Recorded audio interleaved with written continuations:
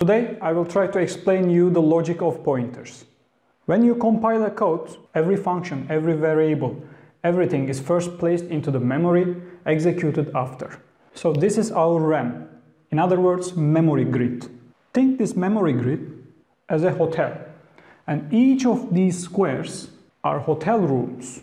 So if you write something like this into the compiler, the operating system will look for a suitable place in the memory and place this variable into that room. Let's say our x is placed here. This is our x.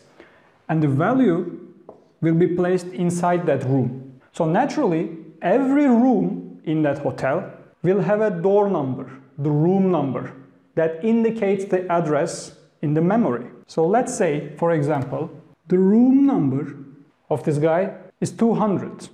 Every byte in the memory has a room number, door number. If you magnify this square here, you will see that it forms from 4 bytes because this integer takes 4 bytes. So actually here is 200, here is 201, here is 202, and this room is 203. So this integer takes 4 bytes, 4 room. Remember, every byte has an address, but for demonstration purposes, assume each square here as 4 bytes, because we will place integer into those rooms.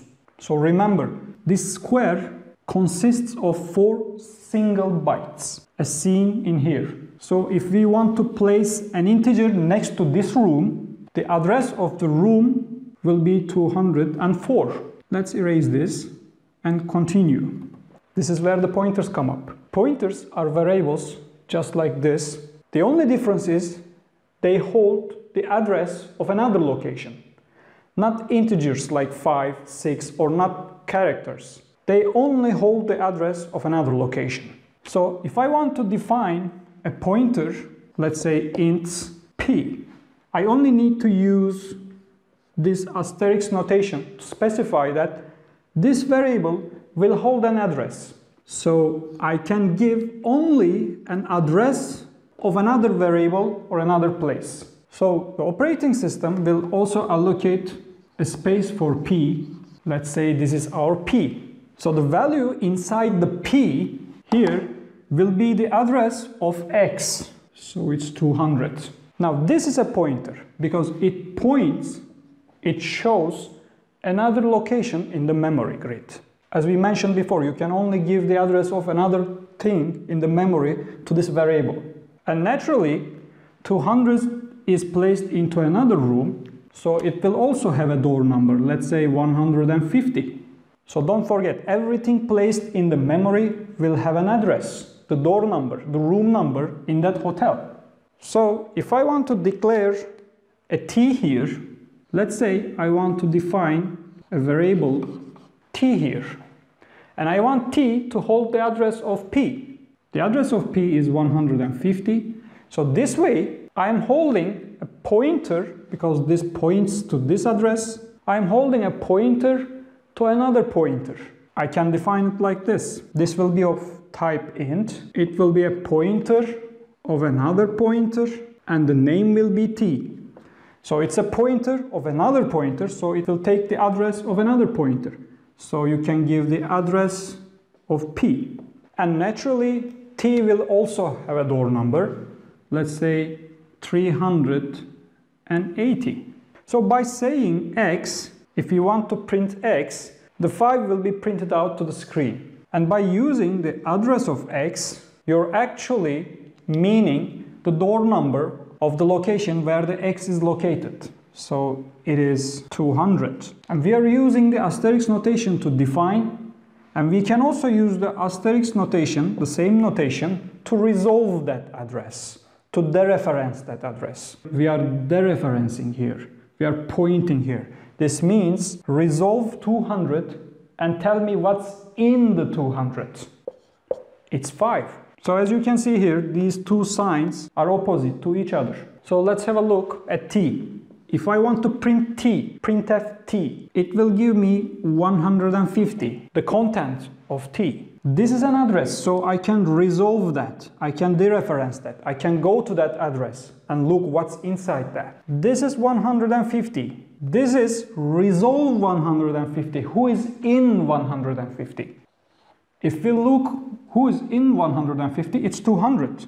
And 200 is also an address. So I can resolve that too. I can keep resolving. 150. If I resolve it, I get 200. And if I resolve 200, let's resolve 200, it's 5. And you can't keep resolving it because if I want to resolve one more time, this means resolve 5. This is 5. Resolve 5, but 5 is not a valid address. It's a pure integer. You can't go any further. You will end up only here. This is basically pointer. They are variables that points to another place. That is why it's called pointer.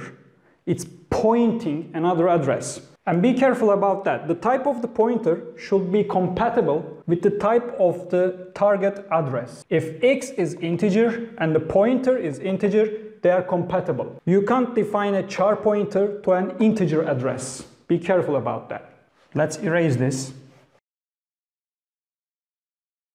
So let's have a look at the scenario. We have two functions, one main function and one another function here. So when you compile the code, the functions will be placed into different areas in the memory, in our RAM, in our hotel. So let's say this is our main block. This is my main block. And we have x inside that main block, which is 7, and y, which is 10. Let's say this is my x, the value is 7, and this is my y. The value is 10. So let's assume that they are placed into an address something like 410, 570. Keep in mind that the real addresses are in hexadecimal format. So this is only for demonstration purposes for you to understand it clearly. And I will have another function here. Let's say it's placed here in the memory. This is my function, my second function. My second function has two variables. One is integer x, let's say here, this is my x inside the function, and one is y, this is x, this is y. This square is y, this square is x. One is integer and one is a pointer to an integer location. So be careful here. When you initialize these variables and come to this line, the x will be sent to the function, will be passed to the function by value. The value of x will be passed to this x. It is 7. The 7 will be here, will be passed to this function as a value. But here in this line, the address of y will be passed to the function, not the 10. The address of y here, this is my y, by the way, address of y is 570. It will be passed to here as an address. So by doing this, I get a pointer to this location. When I jump to this function, I'm no longer in this area.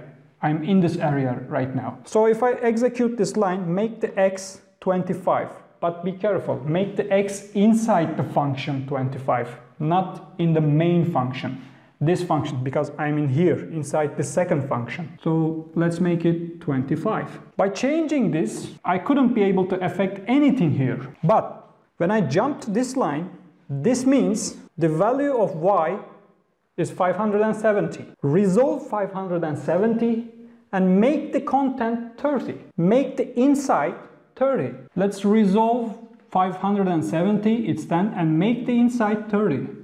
So as you can see, I will be able to change another area in the memory. So this is what actually pointers do. You can access to a memory location directly without referring any variable name.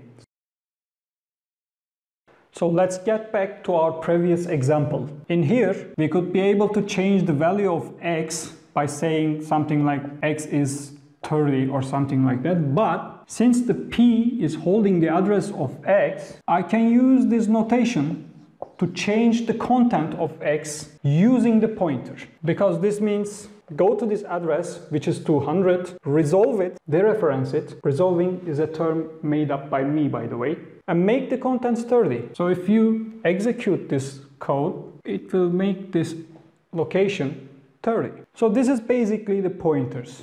They are mostly used to access to a memory location directly without using any variable or any other tricks. So if you have a pointer, you can access to that memory location and do whatever you want in that location. And now we will look at this in a compiler with actual codes.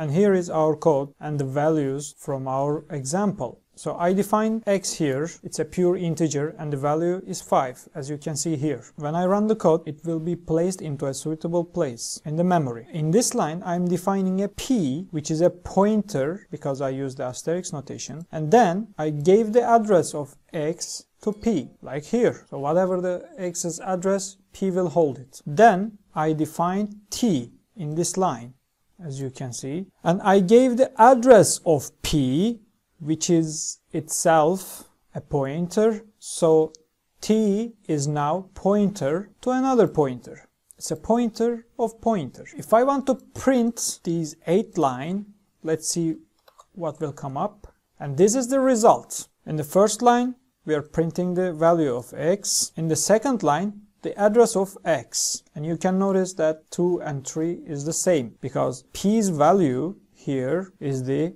address of x. And the fourth line, resolve p, which means resolve this address. This address is the x's address. So if I resolve it, I get 5. In the fifth line, this time I want to see the address of p, not the value of p. The address of p, which is here. So this is the address of P. And the sixth line, I want to print the value of T. The value of T is the address of P here. As you can see, fifth and sixth line is the same. And the seventh line, dereference T. It means resolve the value of T. Resolve 150. If I resolve 150, I get this. X's address in 7. As you can see, 7th and second lines are the same. And at the end, resolve t two times. It means resolve 150 once and we get 200. And if we resolve 200, in other words, resolving one more time, you get 5 here in the 8th line. So basically, with pointers, you can directly access to memory locations and manipulate the contents of that memory locations. So you can do something like this. After executing this line, if you run the code, you will see that the value of x is now 10 because this is an assignment operation. We said that resolve t two times, we are ending up here, and make it 10. And now the value of x is changed. We assigned 10 to this location. So it is 10 now. Okay, with our second example, let's look at the scenario here.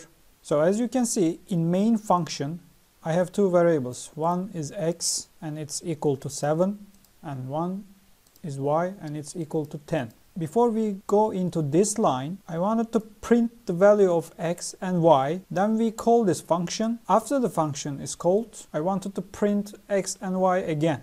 As you can see here, in first and second line, our x and y values are printed as usual. But when we get to this line, the value of x, as you can follow here, the value of x is passed to the function here. The 7 has came to here. And the address of y here, which is here in the picture, came here as two parameters of the function, my second function. And when I enter the function inside, I'm now here in this address block. I left the main block, I stopped here and jumped to here. In this area I'm working now. I made the x25 but this is a local variable. It's only valid inside the function it is defined. So I'm changing the x here. It's totally independent from the x here. So making this 25 is just pointless in this scenario because when we leave the function, this will be all gone. But in the second line, with dereferencing, as you can see, go to this address whatever the y's address is in this picture is 570 y is 570 go to this address dereference it resolve that address and make the contents 30 So I'm changing the content of y in the main function from my second function. So with using pointer, which is pointing this address, I would be able to change the value inside another function. And after the function has been executed and I return back to this line and continue, I wanted to print x and y again after the operations made in the function. So as you can see, x's value is not 25, it's not changed, it's all gone when this function has ended. But the y is now 30 because we changed the y value here from this function using pointer. This is one of the standard use case of the pointers and we will see more complex examples to understand operations on address locations. Thank you for listening.